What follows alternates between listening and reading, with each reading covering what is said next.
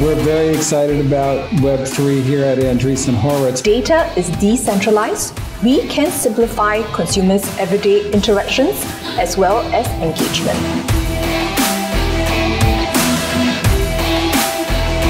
Every CEO has to ask themselves, you know, a question which is not just what they want, their vision for their company, which is so important, but also what is really important to you.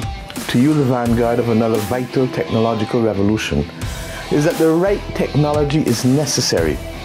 But my friends, it is not enough for societal progress.